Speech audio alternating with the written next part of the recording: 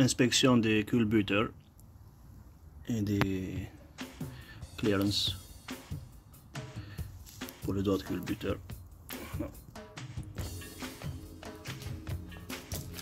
Pour le moment, c'est exactement dans les normes.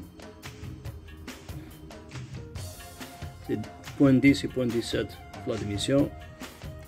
On est entre 10 et 15. Et l'échappement normalement 0.34 et 0.41. On est à 35 la valve arrière.